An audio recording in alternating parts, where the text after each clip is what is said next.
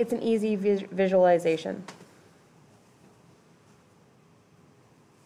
So we did three sixty divided by nine, because that's all of the votes, Right, because we had nine votes. and then we got like forty.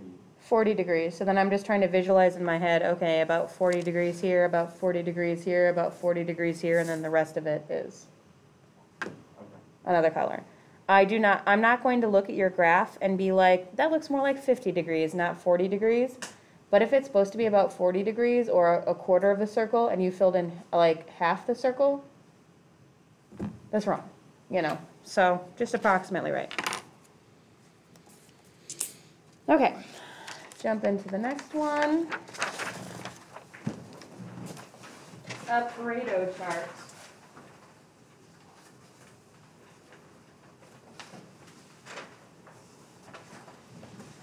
A Pareto chart is a very easy.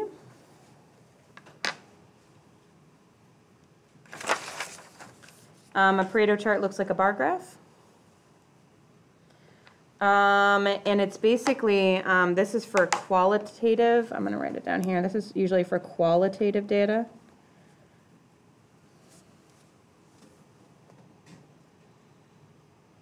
Hmm, so let's get some qualitative data on us. Um,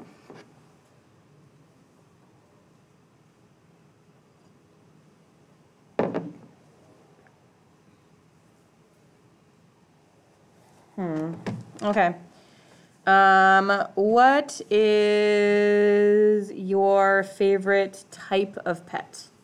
Okay, this could be, well, I'm not gonna give any suggestions to you, any kind of animal. I don't want, I don't need a specific type of dog or something. If you want to say dog, you can just say dog.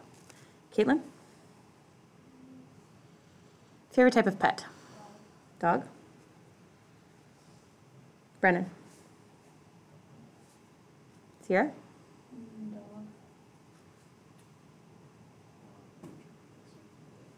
Oh, I can be creative. Okay. Glad we have that in there. Just, you're gonna go with cat? Natalie? Thomas? Bird. You liar. Mason? Fish. Notice how I agreed with you. I assumed sloth was your favorite. Rihanna? Dog. You think sloth is what?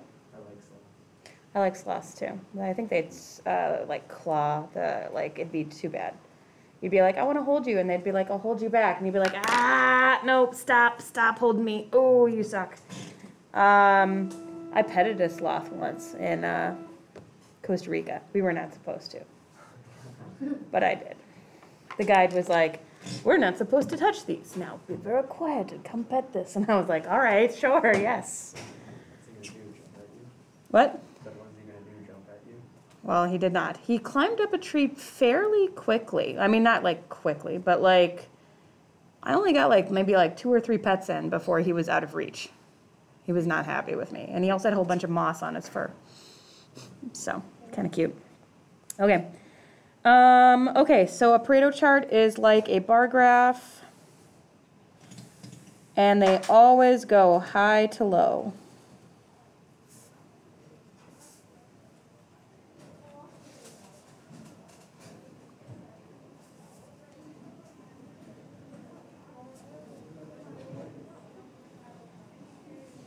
On the side here is frequency.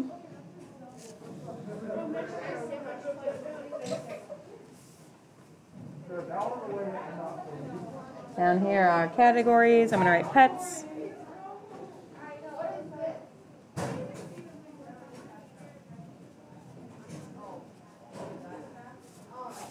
All right, so our highest category had four.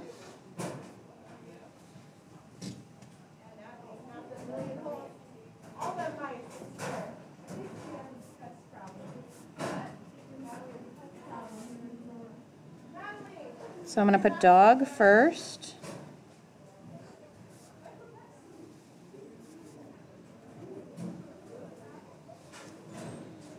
And then cat.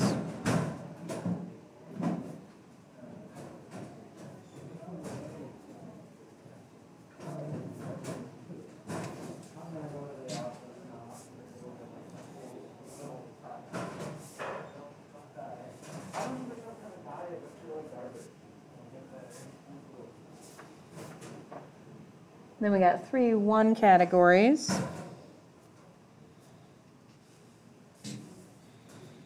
And for those, it doesn't matter what order you put them in.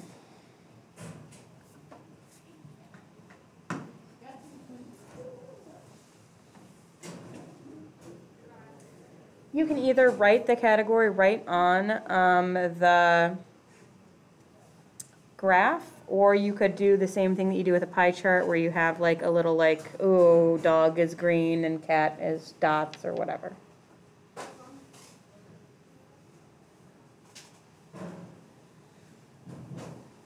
Okay. Are we good on these three? Um, tomorrow, we're gonna do scatter plots and time series charts and dot plots, which are very fast. Um, and you've got the rest of the hour to start working on this homework assignment right here. Page 62, 10 through 18 evens, 24 through 32 evens. Do you want me to look through and tell you which ones you can do so far? Okay.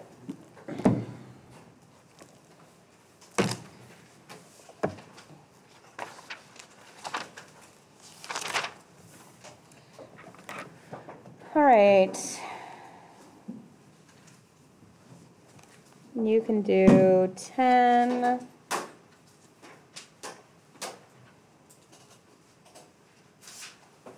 Sixteen. Eighteen.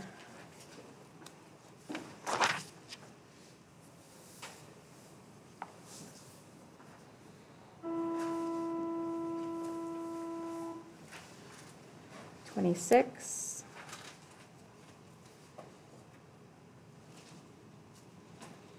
Twenty-eight.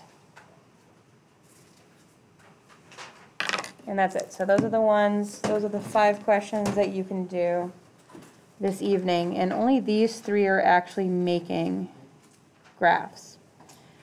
Um, as far as which ones need to be on graph paper, um, the only one that I would actually prefer not to be on graph paper is probably the, um, well, I guess, uh, pie charts and stem and leaf plots don't need to be, but anytime you're making something that looks like a histogram, like a bar graph, I want that on graph paper, so.